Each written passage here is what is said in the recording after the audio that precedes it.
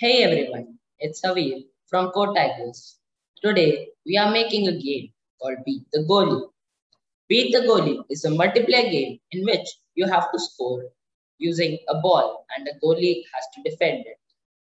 For each goal you score, you get points. Let me show you what I created. So you can see there's a timer on the top left side and the score above it. I can move my goalie using the arrow keys and the ball continuously moves left and right.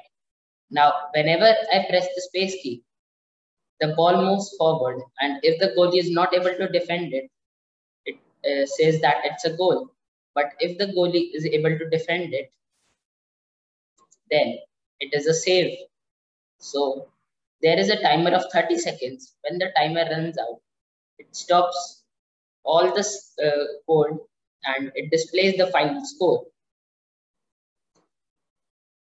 Now we can break the creating of this program into few simple steps.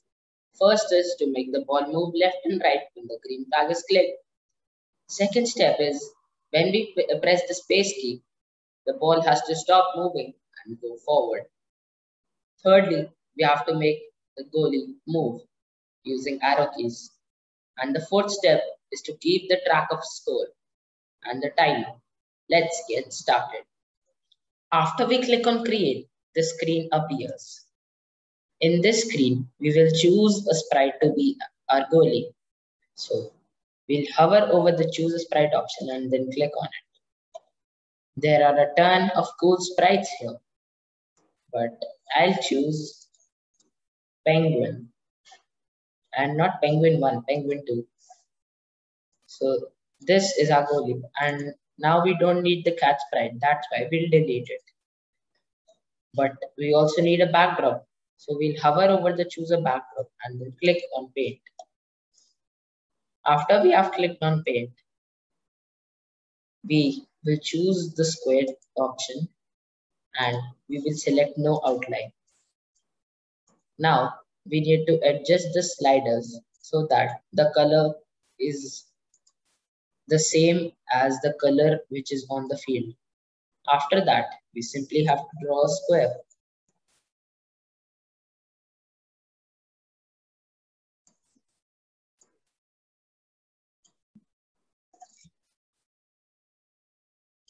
This is going to be the bottom of the screen.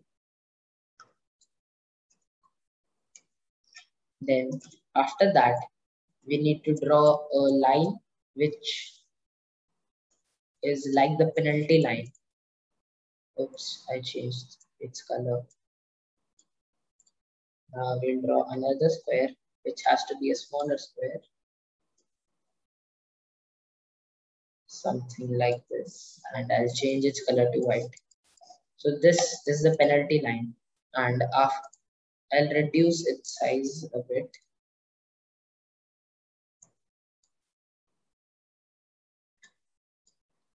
I'll make it a little bigger. After this, we need to draw another small square with the same color. So we'll click on the color dropper and then click on this green color. After that, I'll draw a square. That seems perfect. Just I'll make it a bit small a bit. Yes. And now you can adjust it.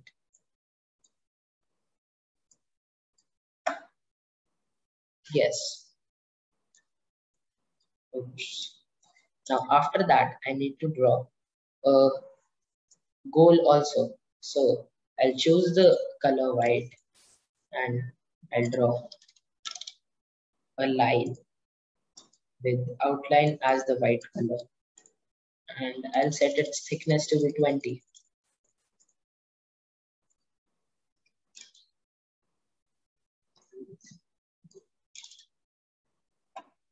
Now I simply have to draw a line.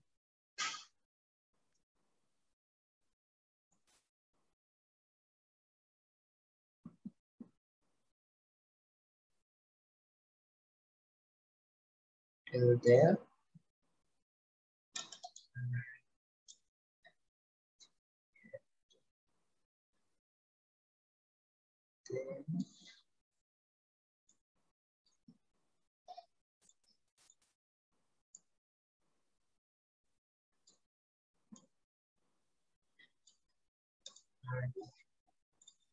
Now from here to here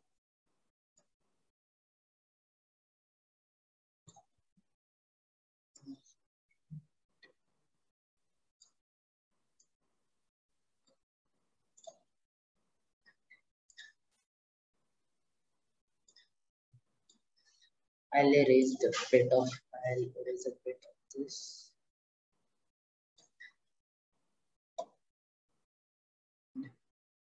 I'll choose the line again.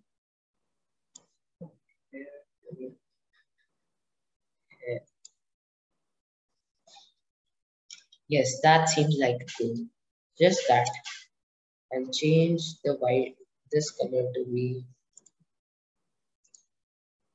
the color orange so that it stands out differently.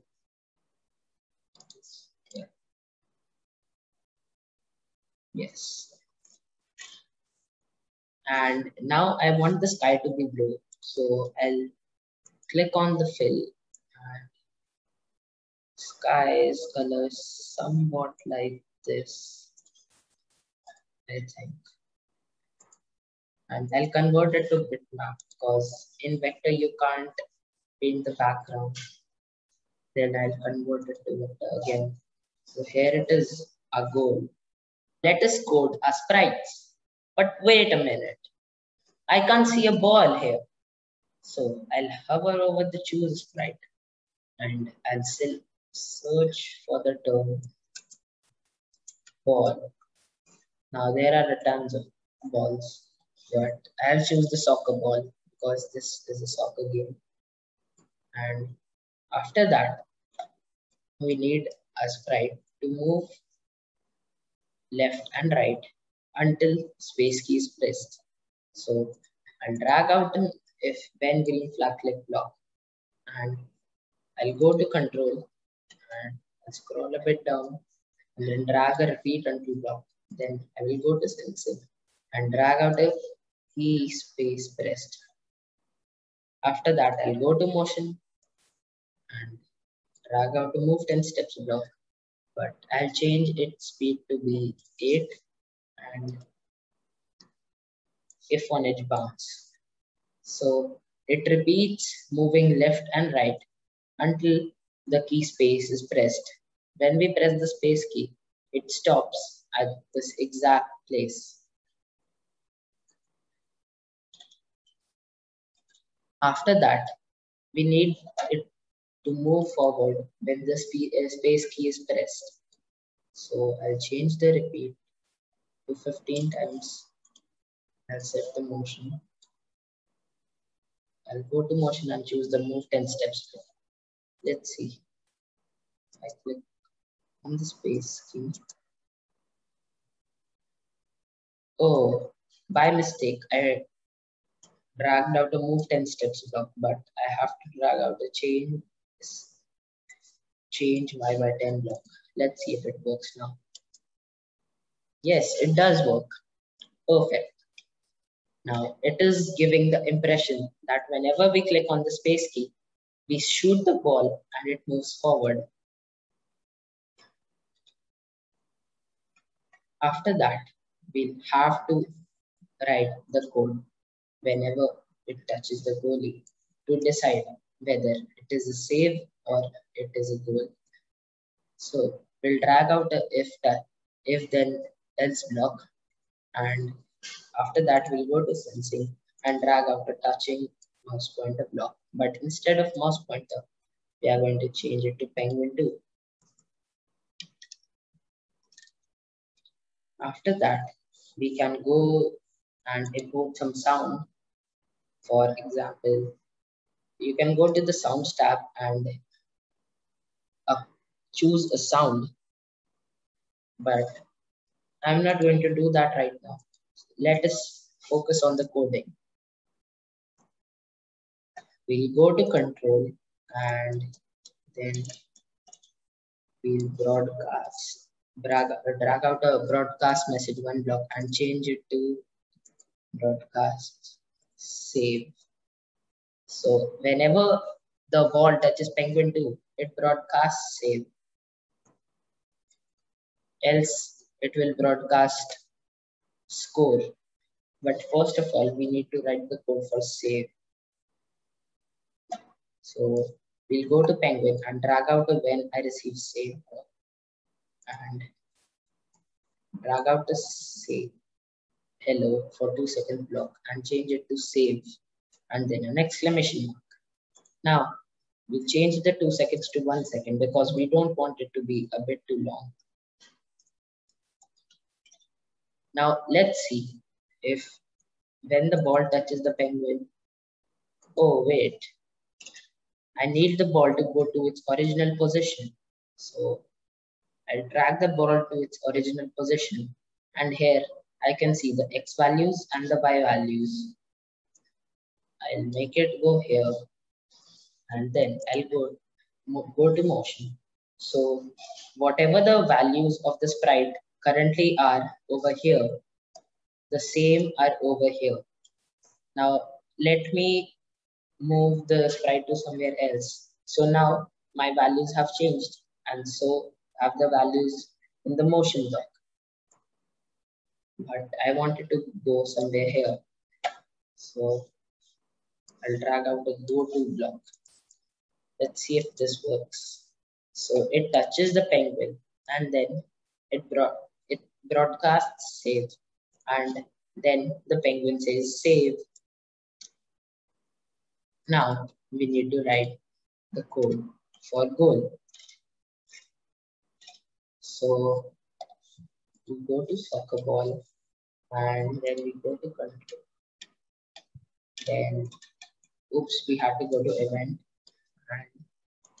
and I'll change just a new message and change it to score. We can also add our variables right now. So I'll add a variable called score and I'll add another variable called timer. After I have added both of them, I'll go to Penguin script and I'll drag out a when I receive score block set. I'll set uh, I'll go to soccer ball and I'll set both of the variables to their original value. First of all score score has to be zero and timer has to be 30 seconds 30 so you can change timer to how how much seconds you want but I think 30 seconds are enough for me. So when I receive score, I'll change score by one. That, that means I'll add score to whatever its value is right now. And then I'll add the value to one. And then I'll say goal for one second. Let's see if this works. Right now it is saved and it's it scores and then the score changes its value to score plus one. After that, I'll go to soccer and I want this process to get repeated over and over I'll drag out a repeat forever block and and I'll put it out. I'll put all of my script inside of it, but not the set variable block. Because if I'll set my variable, then even if I score, it will set the score again to zero. And now let us write the code for the penguin to move left and right. So first of all, I'll drag out the when green flag block and I'll make the penguin go to the desired place.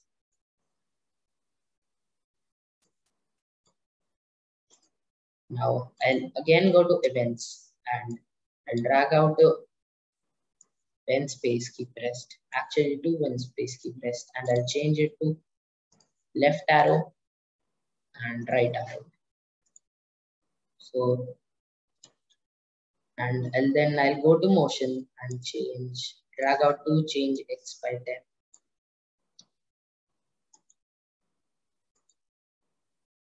So whenever I press on uh, the left arrow key, it changes X by minus 10.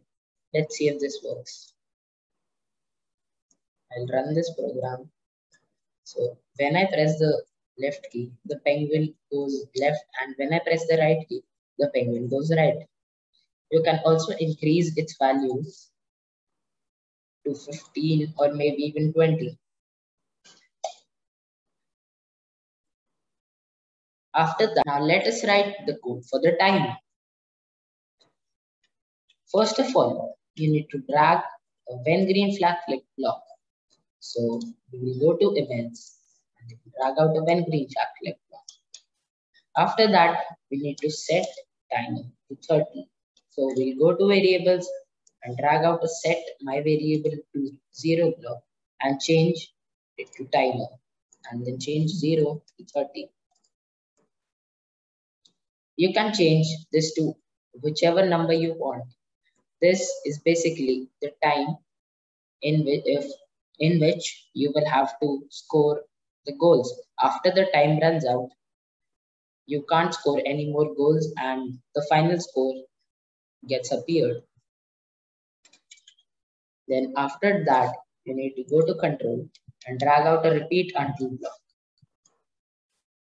Then we'll go to operators and drag out the is equal to block now we again have to go to variables and drag out this block right here which says timer and change this value to zero. Now we'll go to control and drag out a wait one second block and then go to variables again and drag a change timer by minus one block.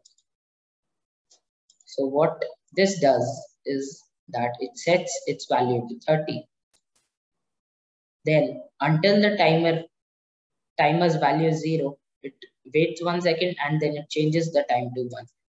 Now after the timer runs out, we want it to stop all of the other scripts.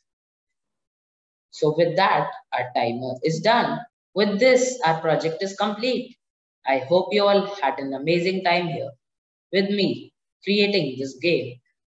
I will see you next week at the same time with another wonderful game. Until then, goodbye and stay safe.